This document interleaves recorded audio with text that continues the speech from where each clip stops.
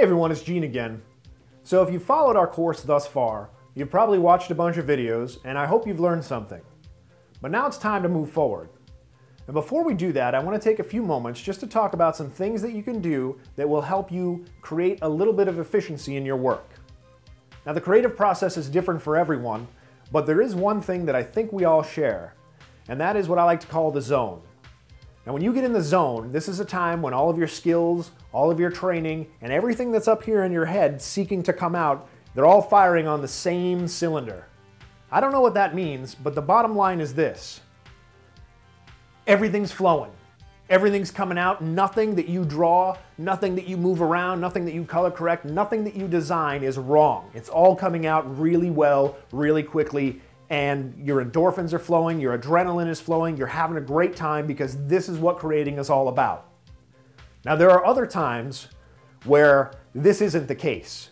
Sometimes a lot of people call it artist's block or writer's block in the case of anyone who writes. These are the times where nothing is flowing. These are the times maybe you're staring at a blank piece of paper. Maybe you're drawing, but nothing comes out right. You're, you're drawing, you're trying to get some circles, and they all come out as squares color correction isn't looking right.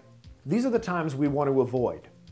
So before we move on to our next section, and here we're going to be working on some very interesting projects and doing some practical application of some of the tools and menus and panels that we've just taught in this lesson. It's going to be a blast, but I want to delve into a little area where I think I can help keep us in the zone. I'm going to take a quick aside here. There was one time a couple of years back where I was designing a clothing line called Vengeance Gear.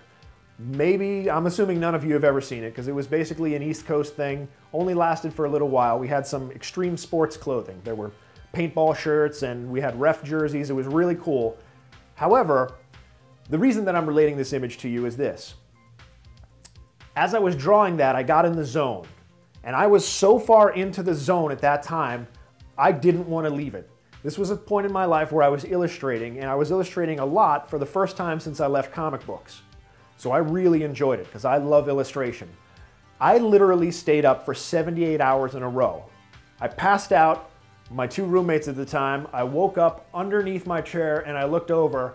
I had no idea how I got there, and they're just like, hey man, how you doing? And I was like, how did I even get here? We don't know, you just fell asleep. The point is, that's how powerful the draw the zone is. And I was so frightened that it would take me a while to get in the zone again that I just kept going until I literally ran out of steam. So these next few beginner tips I'm going to share with you because there are a few things that I've learned over my 15 years of freelance.